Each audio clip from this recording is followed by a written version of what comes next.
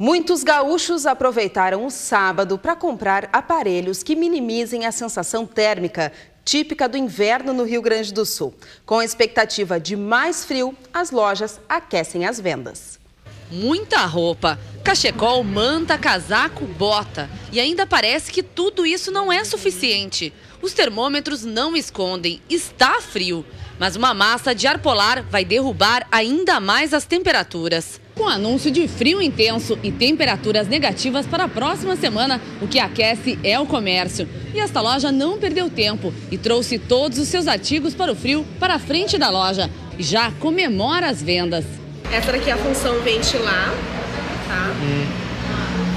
Essa daqui é a primeira velocidade dele. Ronaldo e Leda foram até a loja porque o aquecedor que tinha 10 anos queimou.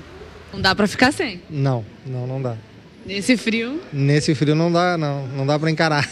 E a previsão do frio é muito forte, que vai vir por aí, né? Vamos ver se vem mesmo, né? Então a gente tem que se prevenir. Eu fui obrigado a comprar mais um agora para a sala, né? O meu é fixo. Né? Então me obriguei a comprar mais um agora com esse frio.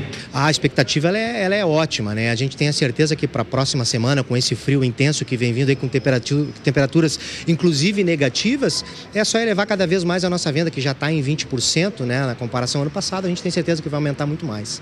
O mercado já sente o crescimento nas vendas de aquecedores, fogões a lenha, condicionadores de ar e até lareiras. Segundo a Associação Sul-Brasileira de Refrigeração, Ar-Condicionado, Aquecimento e Ventilação, o aumento neste inverno já é de 15% em relação ao ano passado. E a população também está mudando de hábitos. De acordo com o presidente, apesar de ser mais caro, as famílias estão trocando o aquecedor pelos aparelhos de ar-condicionado comprando um condicionador de ar, ela vai ter tanto é, no inverno quanto, quanto no verão aquele conforto da climatização, né?